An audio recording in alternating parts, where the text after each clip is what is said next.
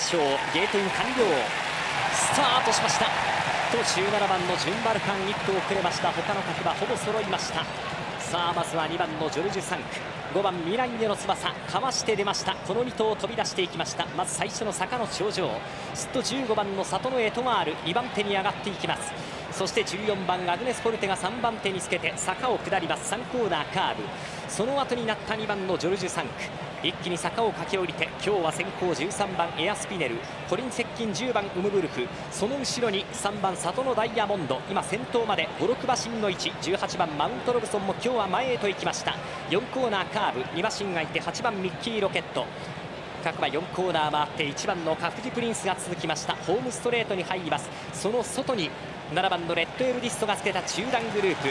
その後ろに6番ディーマゼスティそして4番のシュペルニエール。スタンド前拍手に迎えられます。11番のレインボーラインが続いた。後方集団です。あとは2馬身がいて12番コスモジャーベ最初の 1000m59 秒9でいっています。後方に16番のプロディガルさん。2馬身がいて17番ジュンバルカン。2馬身差で9番のイモータルが最高峰拍手に送られてスタンド前から1コーナーカーブ先頭からおしまいまで20馬身ぐらいの隊列が1コーナー回っていきました。さあ宣言通り5番未来への翼が先頭で2馬身のリード。15番里のエトマール。2番手2馬身がいて今日は先行13番エアスピネルと14番アグネス・フォルテ。2頭が並んでいます。2コーナー回ります。1馬身半差外に飛ばした2番のジョルジュ・サンク。そのうちに入れた10番のウムブルフまもなく向こう上面に到達。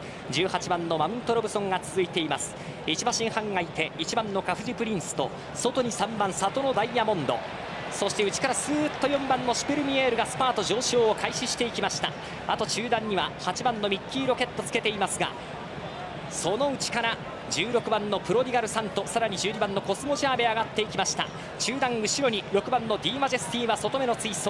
その後ろに7番のレッドエルディスト隊列が変わっています。坂をぐんぐん上がります。2馬身相手11番レインボーラインおしまいから3投目。そして17番のジュンバルカン。最高峰9番イモータル変わっていません。さあ2度目の坂越え800を切りました。3コーナー回ります。短期の逃げは5番未来への翼。坂を駆け下りて2馬身のリード。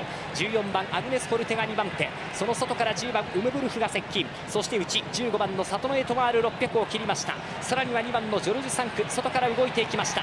そして外3番里のダイヤモンドと6番ディーマジェスティがスーッと上がってバタンを合わせて第4コーナーから直線。逃げる逃げる5番未来への翼2馬身のリード。内を狙って13番エアスピネルが足を繰り出しますが外から3番里のダイヤモンド。そして2馬身がいて6番ディーマジェスティ。後方にいた11番レインボーラインが追い込んでくる。完全に抜けた3番里のダイヤモンド。内から13番エアスピネル外11番レインボーライン6番ディーマジェスティ2着争い。サトノダイヤモンドゴールサトノダイヤモンド完勝でした。